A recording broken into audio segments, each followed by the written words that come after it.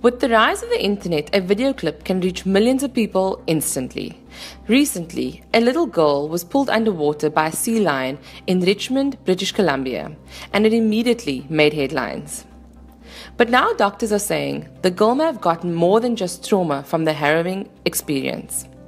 There's a chance she's been infected with a painful disease known as seal finger. ABC reports that seal finger is caused by tiny Mycoplasma phocicerebrale bacteria found in the mouths of seals, sea lions, and other sea mammals. Seal finger is so named because fingers are the most commonly affected, though the infection can occur in other body parts. Infections typically occur through bites or when a pre existing wound becomes exposed to the animal's blood or saliva. The affected area becomes swollen and tender with cellulitis and can progress to joint damage. Mycoplasma do not have cell walls, which make them resistant to certain antibiotics such as penicillin.